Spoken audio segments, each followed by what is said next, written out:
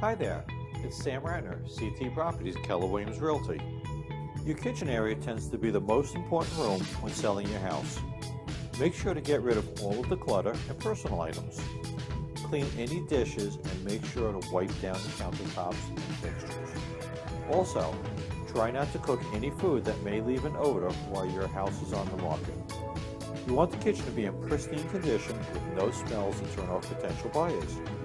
For more staging tips on how to sell your house for more money in less time, contact. Thank you for taking the time to watch this video and be sure to give us a call with any questions at 203-439-0947 and we look forward to seeing you shortly.